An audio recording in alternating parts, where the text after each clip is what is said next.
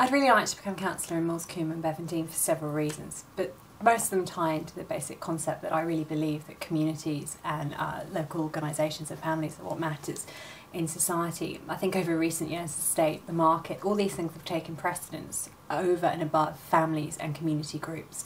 I feel it's the role of local government, particularly local councillors, in order to help to facilitate those kind of organisations, to help people achieve what they are able to achieve and fulfil their potential.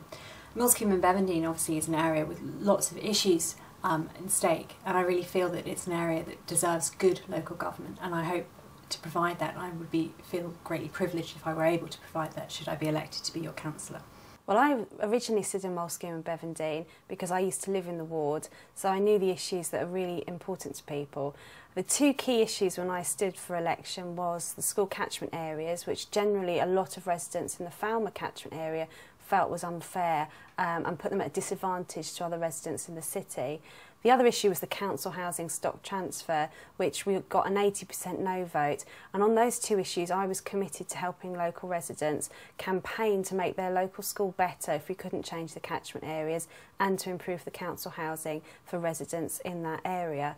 And I think I've delivered on both those. We've now got Falmer Academy, which has got a brand new um, school, but not just that, it's got a new way of teaching. There's going to be a sixth form for the first time. There's new school uniforms. There's a new whole um, way of teaching which will really benefit local children and the local community. Council housing for the first time in nearly 20 years is getting massive investment in, in terms of new front doors and kitchens and bathrooms and I want to be re-elected because in those four years I've really delivered for the local community but there is a lot more to do.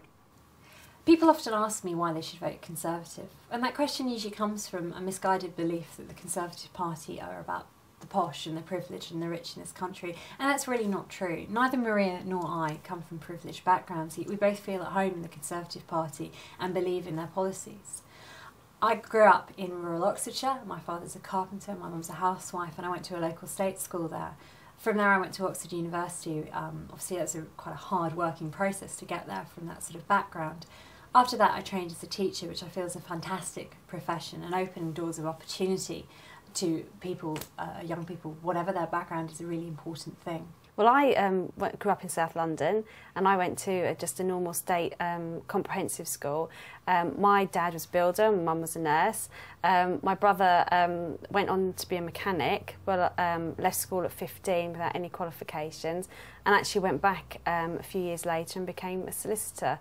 I trained as a nurse and I really believe in the state system and the state education because it gave me opportunities and you know gave me a lot of experience. I never got to go to university and I think that I've always regretted that, that I never had the opportunity. So for me it's really important to give children and uh, young people who do want to go into further education every opportunity to do so.